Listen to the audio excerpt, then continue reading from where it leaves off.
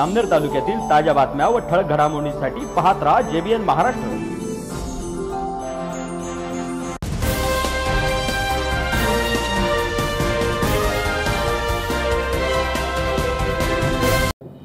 नमस्कार मी मिनल चौधरी. पाहूया काही ठळक वृत्त. महाराष्ट्र राज्याचे ग्रामविकास मंत्री नामदार गिरीश महाजन यांच्या प्रयत्नांतून वाघुरूपचा सिंचन योजना पूर्णत्वास आली असून या योजनेचा लोकार्पण सोहळा मंत्री गिरीश महाजन यांच्या हस्ते पार पडला. या योजनेमुळे आता जामनेर मतदारसंघाचा कायापालट होणार आहे. ही योजना दोन टप्प्यात असून त्याच्या माध्यमातून जामनेर तालुक्यातील एकूण एकोणीस हजार एकशे बत्तीस हेक्टर क्षेत्र ओलिताखाली येणार आहे आणि त्यासाठी तीन हजार आठशे दहा शेततळे बनवण्यात आले असून या शेततळ्यांमध्ये वाघूरचे पाणी पोहोचवण्यात आले आहे. त्यामुळे तब्बल सेहेचाळीस गावांमध्ये हजारो शेतकऱ्यांना या योजनेचा लाभ मिळणार आहे.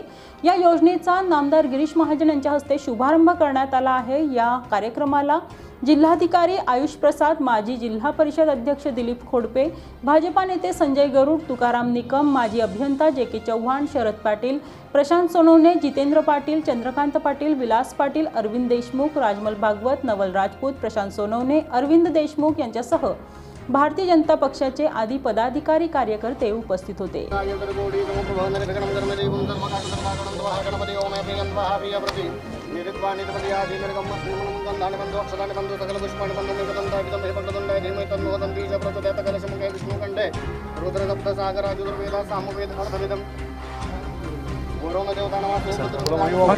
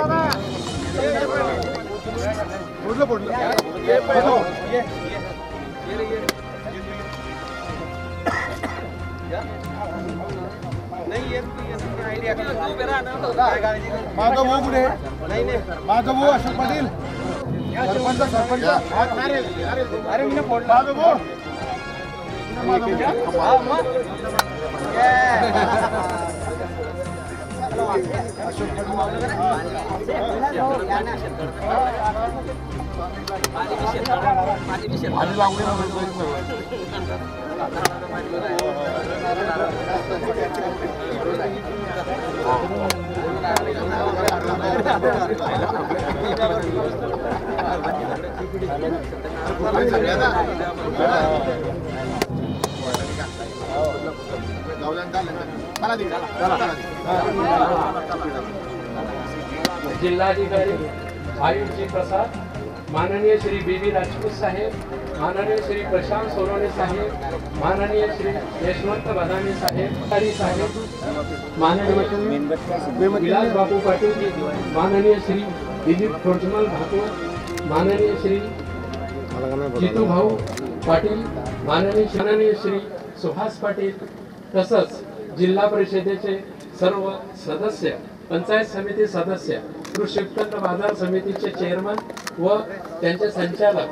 त्याचप्रमाणे या ठिकाणी उपस्थित असलेले छत्रपती मी सर्व मान्यवरांचं वेळेच्या अभावी सर्व मान्यवरांचं मनपूर्वक हार्दिक स्वागत करतो आणि प्रास्ताविकासाठी आमंत्रित करतो. माननीय श्री यशवंत बदाने साहेब यांनी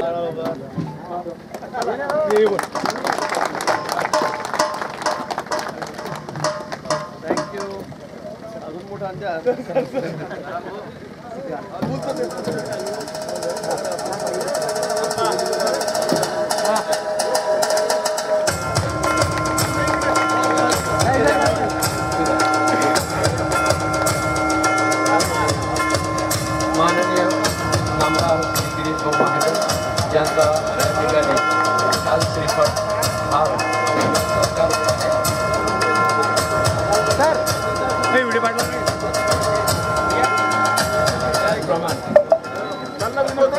या ठिकाणी गारखेडा खुर्द आणि बुद्रुकचे सरपंच माधव महाजन आणि शालिक पवार यांना विनंती करतो. आपण वर यावं. आणि अशोक पाटील यांनीही वर यावं. आणि सर्व मान्यवरांना बद्दल आदरणीय मंत्री महोदयाला आदरणीय पाटील साहेबांना या प्रकल्पामध्ये सहभाग असलेले सर्वांना खूप खूप खूप अभिनंदन करतो.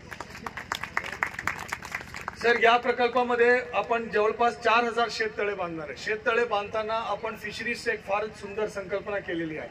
सर परंतु याच्यामध्ये एक दोन गोष्टी जो मी जरासा म्हणजे फक्त जरा उल्लेख करेल आणि माझं काम आहे की लाल झेंडा ज्या ठिकाणी जरासा लाल झेंडा दाखवून देणार पाहिजे. पहिला गोष्ट आहे की ज्या ठिकाणी आपण फिशरीजमध्ये मासी मासे सोडतो म्हणजे शेततळेमध्ये या या प्रकल्प मावळ पुणेमध्ये मोठ्या प्रमाणात करण्यात आला होता. त्याच्यामध्ये एक मेजर प्रॉब्लेम काय होतो जो प्लास्टिकची जो लेअर असतो त्याच्यामध्ये मासा मास ज्यावेळेला अंडे सोडण्यासाठी ते त्या ठिकाणी छेद करतो. तर त्याच्यामध्ये आपल्याला शेततळेमध्ये एक ते दोन इंच मातीच्या लेअर पण टाकणं गरजेचं आहे. आणि आपल्याकडे अतिशय चांगला काळी माती आहे त्या मातीच्या अगर आपण एक लेअर टाकला तर या एक अडचण होणार नाही आणि एक मेजर प्रॉब्लेम आपल्याला टाळता येतो. दुसरं सर आपण एक सोलरच्या फार सुंदर संकल्पना मांडलेली आहे. आपल्याकडे सर मेजर प्रॉब्लेम जो आलेला आहे मुख्यमंत्री कृषी वाहिनी योजनामध्ये आपण तीन हजार नऊशे पन्नास एकर गायरान जमीन या सोलरच्या प्रकल्पासाठी दिलेलं आहे. परंतु आणि त्या तीन हजार नऊशे पन्नास एकरवर आठशे मेगावॉटचा सोलर प्लांट आपण लावू शकत होते. परंतु फक्त पाचशे मेगावॉटच्या आपल्याकडे म्हणजे टेंडर निघाला आणि आता वर्क ऑर्डर पण झालेला आहे. मागच्या काही दिवस पूर्वी आदरणीय मुख्यमंत्री महोदयांनी याचा वर्क ऑर्डर दिला. आदरणीय उपमुख्यमंत्री महोदय पण त्या कार्यक्रमात होते. त्या वर्क ऑर्डर देताना एक अडचण जो जळगाव जिल्ह्यामध्ये आलेली आहे की आपल्याकडे सब स्टेशन्समध्ये जो डाउनलोड करण्यासाठी जसं ते म्हणत होते की काय सब सबस्टेशन आहे ज्या ठिकाणी क्षमता आहे. परंतु जळगाव जिल्ह्यामध्ये डाउनलोड म्हणजे जो वीज आपण उत्पादन केला त्याला खाली घेण्यासाठी या सबस्टेशनवर घेण्यासाठी आपल्याकडे क्षमता कमी पडतोय. सर आता सहा हजार ऐंशी मेगावॉटच्या आपला पुढच्या जुलैच्या महिन्यापर्यंत सर आपला जसं आचारसंहिता संपेल तसे सहा हजार ऐंशी मेगावॉटच्या एक दीपनगरमध्ये फार मोठा प्रकल्प तयार होत आहे. मोठ्या प्रमाणात बांधावं लागेल आणि महा ट्रान्सकोच्या महापारेषणच्या मोठा सबस्टेशन उसके बाद डिस्ट्रीब्युशन सबस्टेशन इसका महावितरणचा बांधावं लागेल.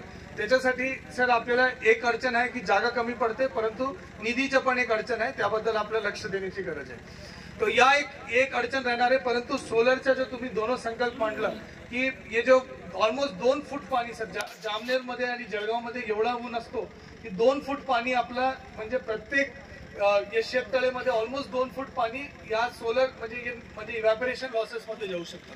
तर यदि आपण सोलर पॅनल वरती बसवला या कुठल्या शीटवरती बसवला तर त्या ठिकाणी आपल्याला म्हणजे त्याच्या वॉटर टेम्परेचर पण योग्य राहील आणि आपला म्हणजे पाणीचं नुकसान पण कमी होणार आहे. याबद्दल आपल्याला एक जरासा विचार करावा लागेल. आणि वाघूरवर आपण अगर केला तर हे जो दोन फूट पाणी आहे त्याच्या माध्यमातून आपण जलगावला पाणी देऊ शकतो मेडिकल कॉलेजला पाणी देता येतो आणि भरपूर असं काम करता येतो. परंतु हे प्रकल्प फार गरजेचे आहे सर आणि हे अगर आपण केला तर हे टुरिझमच्या दृष्टीने आणि सगळ्या दृष्टीने आपण अतिशय चांगल्या पद्धतीनं करू शकतो. शेवटच्या एक कॉड लिव्हरच्या तुम्ही फारच सुंदर संकल्प मांडला. आपण हंड्रेड प्रकल्पाला आपण आपला हातबळ द्या. ही महत्त्वपूर्ण विषय याच्यासाठी आपण सहकार्य करा. जामनेरमध्ये एक श्रीमंतताची म्हणजे काय पलट होऊ शकतं? म्हणजे अगर आज जामनेर एक श्रीमंत तालुकामध्ये येतो ते दुपट श्रीमंत होऊ शकतो तिपट श्रीमंत होऊ शकतो. याबद्दल आपला विचार करायला पाहिजे. आणि दुसरी गोष्ट आहे की म्हणजे या या जो वॉटर असोसिएशन वगैरे जो स्थापना करायची आहे ते ताबडतोब करून द्यावं. गैरान जमीन मध्ये जो काही मदत करायची आहे ते शंभर टक्के करू. आणि आपल्याकडे कुठल्याही अडचण येणार नाही त्याच्यासाठी पूर्ण करण्याबद्दल. या अंतर्गत एकूण चार हजार शेततळे. आणि शेततळ्यांना जोडणाऱ्या बंदिस्त नलिका वितरण प्रणालिका त्याच्या शुभारंभ प्रसंगी मंचावर उपस्थित जिल्हाधिकारी अधिकारी उपस्थित सर्व आमचे नेते मंडळी आमचे संजय दादा आहेत बाबूराव आहेत जितेंद्र पाटील आहेत आमचे जिल्हा परिषद सदस्य आहे नवचिंग आहे निलेश आहे रमेश भाऊ आहेत सगळेच आमचे नगरसेवक माने सगळे बसलेले आहेत. सर्व उपस्थित पदाधिकारी या खात्याचे सर्व वरिष्ठ अधिकारी कर्मचारी माझ्यासमोर बसलेले सर्व बंधू आणि भगिनींनो. पी डी पाटील साहेब बोललेत भांबरे साहेब बोललेत आणि जिल्हाधिकारी बोललेत. आणि खरं आहे हा प्रकल्प जामनेर तालुक्याचा कायापालट करणारा प्रकल्प आहे? शेतकऱ्याच्या जीवनामध्ये आमूलाग्र बदल घडून आणणारा हा प्रकल्प आहे. हा प्रकल्प आठशे साठ कोटी रुपयाचा आहे. खरं म्हणजे प्रकल्प एवढा मोठा आणि उद्घाटन शुभारंभ एवढा छोटा मला वाटतं पहिल्यांदाच होत असेल. पण गेल्या पंधरा दिवसापासून वर्क ऑर्डर मिळाल्यापासून मी सारखी देवेंद्र फडणवीस साहेबांची तारीख मागत होतो. मी त्यांना म्हटलं तुम्ही इथे या संजय दादा त्यावेळेला होते. मी त्यांच्या दादासमोरच बोललो होतो की आपण एक मोठा कार्यक्रम. साहेबांनाच आम्ही सांगितलं होतं की पण आम्ही मोठा कार्यक्रम पन्नास साठ हजार शेतकरी जमा होतील. एवढा मोठा कार्यक्रम आम्ही या ठिकाणी घेऊ. पण निवडणुकीचे वारे सुरू झालेत. दिल्लीच्या त्यांच्या वाऱ्या सुरू झाल्या. वेळच मिळत नव्हता. आणि उद्या परवा आचारसंहिता लागते. अरे तर परवा लागेल. परवा आचारसंहिता लागते. आणि म्हणून वेळच नाही. आणि एवढ्या मोठ्या कार्यक्रमाला सुरुवात कुठे झाली पाहिजे. गाजावाजाही झाला पाहिजे. आणि म्हणून मी काल रात्री अकरा बारा वाजता तिथू पडलेला चंदूना यांना सगळ्यांना फोन केला. आणि मी त्यांना म्हणालो की बाबा काहीतरी झालं पाहिजे आज. म्हणजे आता काय करायचं आजच्या आज? आता काही करा. पाच पन्नास लोकांकडून म्हटलं नारका फोडणं होईना म्हटलं. पेपरला बातमी आली पाहिजे की आपण एवढ्या मोठ्या कामाचा शुभारंभ केला. आणि जवळपास पंचावन्न हजार साठ हजार एकर जमिनीला यातून पाणी मिळणार आहे. चार हजार शेततळे तुम्ही त्या ठिकाणी उभे राहणार आहेत. आणि नुसतं शेतकऱ्यांनाच पाणी नाही. शेतीलाच पाणी नाही. तर यातून जो मत्स्य व्यवसाय सांगितला आपल्याकडे एक दुसरा जोडधंदा सुरू होणार आहे. तोही महत्त्वाचा आहे. आणि म्हणून म्हटलं याचा शुभारंभ कुठे झाला? झाला पाहिजे लोकांना कळायला पाहिजे आपण काय करतो काय नाही. आणि म्हणून अतिशय धावपळीमध्ये सकाळीच काही पत्रिका छापल्या काही आमंत्रण दिलेत. आता मला तिथे एकाच गावची लोक दिसतं म्हणजे पंचेचाळीस गावं आपल्या याच्यामध्ये आहे समाविष्ट. पण आपण त्यांना बोलू शकलो नाही. त्यांना बोलू शकलो फक्त प्रमुख पदाधिकाऱ्यांना बोलून घ्या. गारखेड्याची सगळी मंडळी आहेत. खडकी बाजूला मुंकडा मुंकडा आहेत. त्यांना फक्त बोलून घ्या. पण खडकीच्या बाबतीमध्ये असं झालं की खडकीत त्या उंचावर गेलं आहे थोडं खडकीला आहे पाणी जाऊ शकत मी आता नकाशात पाहत होतो. त्यांना म्हटलं काही करा. ते म्हणजे विडीपाटील साहेबांना सांगा. म्हणून मी आता विडीपाटील साहेबांना सांगतो की साहेब आमचं खडकी गाव महाराणावरचं आहे. अतिशय वाईट परिस्थिती पाण्याची. प्यायलाच पाणी मिळत होतं. आता आम्ही कशी योजना वापरून त्या ठिकाणी केली. आणि आता ती योजना पूर्ण झाली की आम्हाला पाणी त्या ठिकाणी मिळणार तिथं पिण्याच्या पाण्याचं अतिशय दुर्भिक्ष त्या ठिकाणी होतं. ते गाव सुटता कामा नये. पण बोधवड तिकडनं येत आहे. अजून आपण भाकूर आणतोय. वाघोर इकडे त्यातून खडकीचं काय करता येईल ते आपण नंतर बसून ठरवू. पण मला असं वाटतं की पंचेचाळीस गाव त्याचा याच्यामध्ये अंतर्भाव या ठिकाणी आहे. आणि म्हणून आपण अतिशय घाई गर्दीमध्ये म्हटलं पन्नास शंभर लोकांनाच बोलवा. पण आपण जे नारळ प्रोडक्ट पेपरला होते बातमी आली पाहिजे की ॲड टाकून त्या पेपरला चांगली पहिल्या पानावर. की आता शुभारंभ झाला म्हणून लोकांना कळालं पाहिजे. कारण हा देशातला एक आगळा वेगळा प्रकल्प आहे. असा प्रकल्प देशामध्ये विडीपाटील साहेबांच्या कल्पनेतून संकल्पना हा अवतरलेला प्रकल्प आहे. असा प्रकल्प देशामध्ये कुठेही नाही. की चार हजार शेततळे आणि त्यातून पंचावन्न हजार एकर जमिनीला पाणी मिळणार. ते असं आजपर्यंत कुठे झालेलं नाही. एक मॉडेल आहे. म्हणजे अनेक देशभरातले लोक हे सगळं बघायला येतील की बाय कसं काय केलं यांनी म्हणून. काय केलेलं आहे? कसं काय चोवीस तास तुम्ही शेतकऱ्यांना पाणी देतात? कसं या सगळ्या मत्स्य व्यवसायातून त्या ठिकाणी पूरक व्यवसाय उभा राहिलेला आहे? आणि मी खरंच सांगतो आपल्याला शेतीतून उत्पन्न होणार आहे पण त्याच्या बरोबरीने त्यातून या मत्स्य व्यवसायातून या ठिकाणी आपल्याला मोठा आधार शेतकऱ्यांना त्यातून मिळणार आहे. आणि म्हणून माझी विनंती आहे की आपण कोणी याला विरोध करू नका.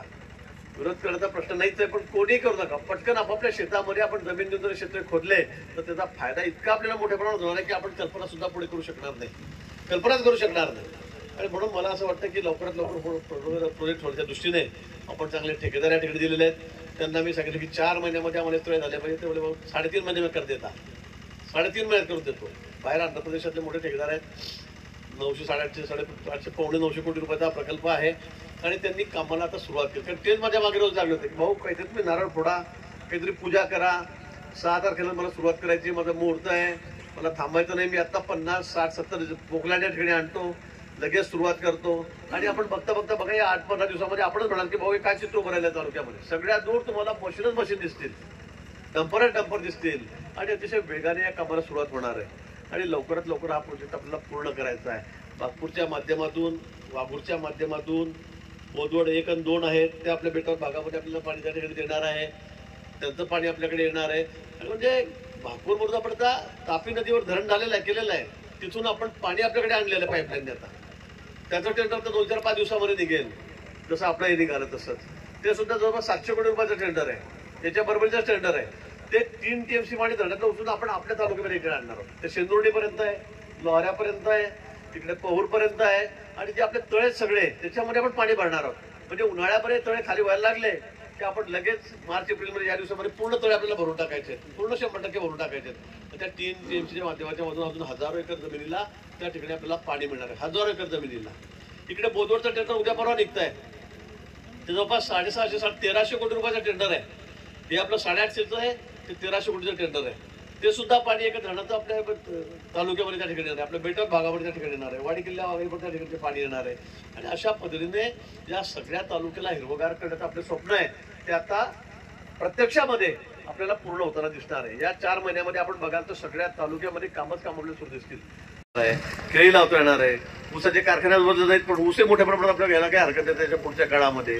तो त्या ठिकाणी होणार आहे. जेणेकरून शेतकऱ्यांच्या जीवनामध्ये कसा आनंद येईल? शेतकरी सुखी कसा होईल? कारण आपण काही केलं आपण रस्ते करू हे करू काय शाळा बांधू खोल्या बांधू गटारी करू सगळं करू. सभागृह बांधू गावागावामध्ये. पण शेवटी शेतकऱ्यांची आर्थिक परिस्थिती कशी दुरुस्त होईल? तो आर्थिक दृष्ट्या कसा संपन्न होईल? लोकांना मजुरांना काम कसं मिळेल?